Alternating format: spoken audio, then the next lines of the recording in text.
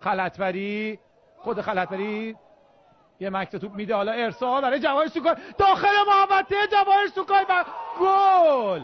بالاخره گل رو جواهر سوکای می‌زنه. مستقیم به سوی تماشاگران میره. تماشاگرانی که از اصفهان آمده بودن و ایستاده تا این لحظه بازی. تیم رو تشویق کردن. با هم ببینید. خوشحالی تماشاگران اصفهانی. نتیجه یک صرف میشه در دقیقه هشتاد. و عصبانیت این چهره علی دایی. با هم ببینید یک پاس از محمد رضا خلطبری داخل محوطه جوای سوکا. مهاجمی نیستش که بخواد این توپ رو دست بده.